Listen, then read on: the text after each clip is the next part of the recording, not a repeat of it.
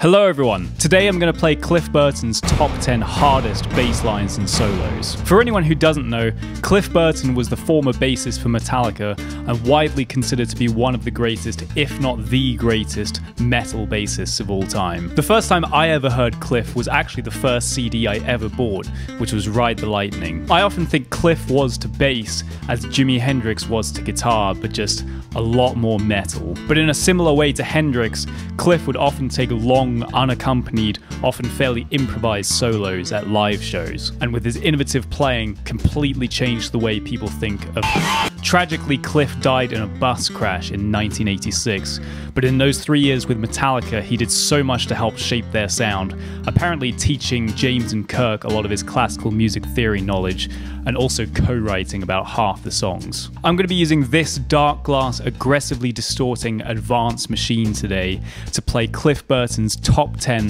hardest bass lines and solos.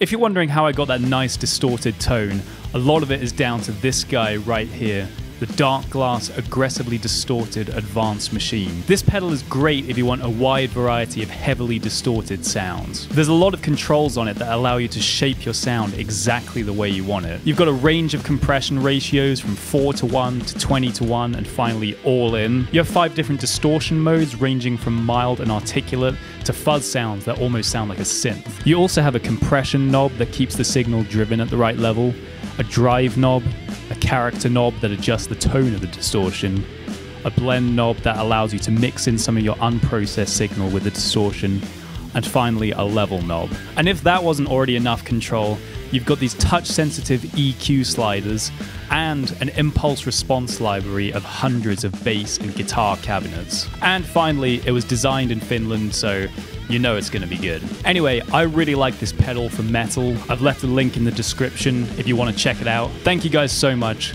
and I'll see you in the next video.